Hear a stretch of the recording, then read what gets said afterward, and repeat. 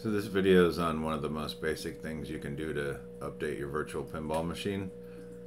It's a little bit different than adding a table from scratch. Um, in this example, I'm just going to be um, updating the table file uh, in order to run the most recent version. Okay. And I just did this very generically.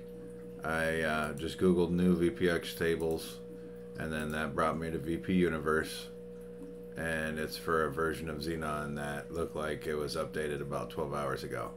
I have no idea what the changes are in this, I'm just using this for an example. If you don't see the download this file button, it's because you need to be logged into VP Universe. And it looks like this was submitted by uh, Haunt Freaks, which is a, a pretty familiar name.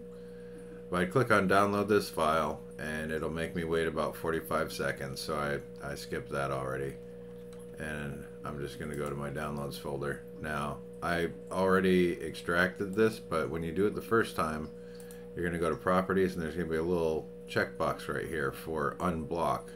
Put a check in the box and then click apply. Then right click, extract all, hit enter. I've already done it, so it's there. Now I've got the table file. So I'm gonna switch to Pinup Popper and go to the Games Manager and type in Xenon. Hit enter. Now there's only one result. Most of the file name matches, but not all of it. So I know that this is the 1980 version. So I'm just going to click this and drag it into where it says file name and it says confirm overwrite game file. Click yes. I already backed it up so I'm going to click no this time and it says file copied and renamed.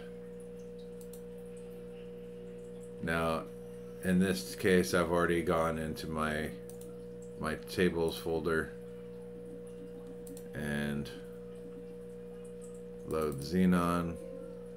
Now it's going to complain about that it was saved with version 10.8 and I'm using 10.72 you don't have to update your virtual uh, visual pinball installation.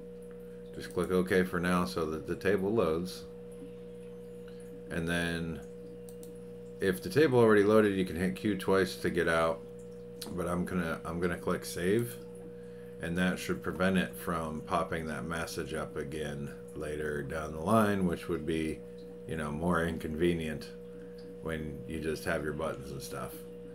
But just to show that it works, I'm going to launch it outside of Pinup Popper first. And there's going to be some audio in a second. And I'm just going to launch a ball.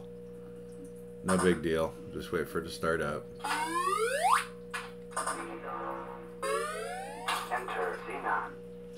Now I am using just my keyboard for this. I'm not on a pinball machine. Honestly, visually, this this looks better than the copy that I had already, but it's not like super duper night and day.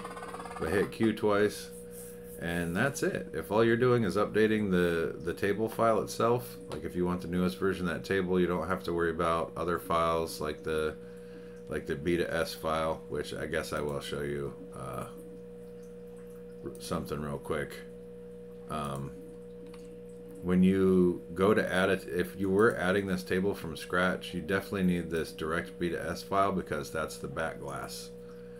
If you just have the VPX, it's only going to show you the playfield. But I'll get into that in another video.